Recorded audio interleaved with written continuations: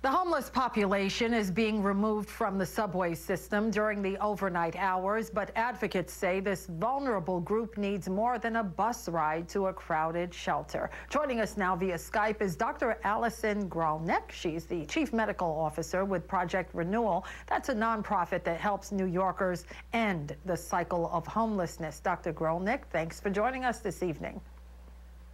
Thank you for having me. Absolutely. So, first, I want your take on the city moving people who are homeless off of trains during the overnight hours. What did this expose about our problem with people who don't have shelter? Well, the city is doing a tremendous amount to uh, ensure that uh, people who are vulnerable in New York City and those with experiencing homelessness, um, you know, have the services they need. They are providing hotel rooms um, for those uh, who, you know, need access to a safe place to stay in quarantine to protect them from the illness.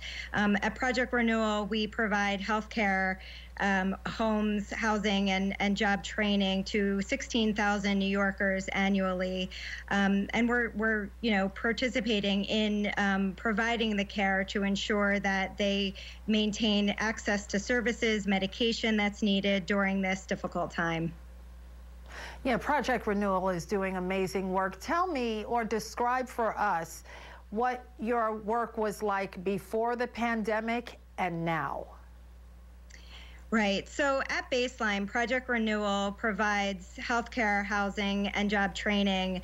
Um, and we as, in healthcare services have uh, four shelter based clinics, mobile healthcare services, as well as uh, psychiatric care embedded in our shelter and housing programs. At baseline, we're a safety net provider. We make sure that the most vulnerable New Yorkers have access to low barrier and low threshold care. Um, so you know, our mission is keeping people out of the emergency room who don't need to be there, um, and and connecting them to care during the pandemic when systems are already sort of overtaxed and burdened. Um, our work is that much more important to make sure that people who are experiencing homelessness have access to care. Um, these are, you know, people who are um, experiencing homelessness also have um, serious mental illness, co-occurring substance use disorders um, and multiple chronic medical conditions that make them at higher risk for severe illness during COVID. So, um, you know, our work was to proactively outreach people who were at higher risk to make sure they had access to medical, to medications and other medical care to keep them as healthy as protect them as possible during during COVID. Yeah, and on June 2nd, you were forced to cancel your benefit at Chelsea Piers. Explain how people can help support your organization during this critical time.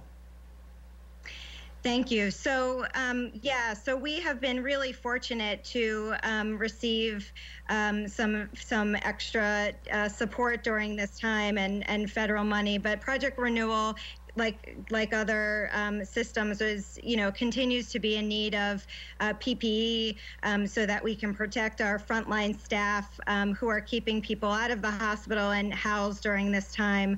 Um, we need you know the testing kits so that we can continue with our initiatives to um, test and keep and identify, trace, and keep people in um, isolated and into care. and they can go on our website projectrenewal.org and um, and donate. Yeah, and very quickly, I have 30 seconds. There's been a big drop off in volunteers across the board. Do you have enough volunteers helping out? We can always appreciate volunteers. We are partnering with the city to um, test every uh, client who's in our shelter setting and congregate settings, as well as our staff. So we could use volunteers to, for that initiative, um, you know, as well as anyone who wants to volunteer with our healthcare services and outreach, um, you know, donate masks and cloth masks and all of that. Okay. Dr. Allison Grolnick, Chief Medical Officer with Project Renewal, thanks to you and your staff for helping people who are experiencing homelessness during this time. Appreciate you. Thank you very much.